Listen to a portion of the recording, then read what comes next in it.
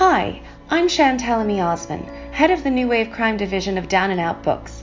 I also co host the Crime Friction podcast, available on iTunes, Stitcher, and Podomatic. I most recently edited and contributed to the anthology Mystery, available now, and the forthcoming episodic thriller Serial Killer, featuring authors Jeffery Deaver and Eoin Colfer, among others.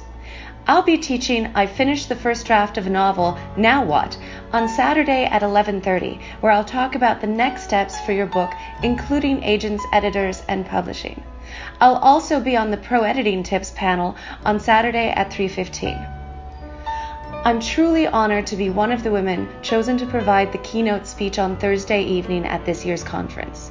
I'll be joining four other fabulous women to discuss what we've learned from prior generations and what we want to leave behind for the next. Writers' conferences are invaluable at any level of the game.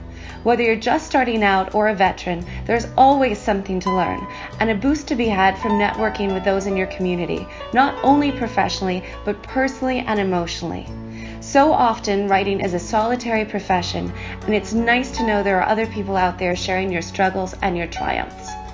Of the myriad conferences I've been to all over the country, CCWC stands head and shoulders above the rest. From the wonderful welcoming staff and attendees, amazing instructors on levels you won't find anywhere else, to the delicious food and wine, it's a unique and unforgettable creative experience.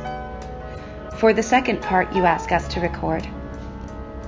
My creative community is mostly composed of crime fiction writers. So when we get together, there's a lot of talking about methods of body disposal, and we get a lot of funny looks at restaurants. There's also a lot of trying not to get arrested. Some of the people I'm closest to, I'm lucky if I get to see in person once a year, which is why conferences like CCWC are so important to me. There's no doubt in my mind that I wouldn't be where I am today without my community, without organizations like Sisters in Crime, which has done so much for women writers of all genres, Mystery Writers of America, and international thriller writers. My writing partners, Josh Corin, who's here at the conference with us, and Jay Stringer, who I do a podcast with, make me strive to be better and grow as a writer every day, and frequently make me a better person in the process.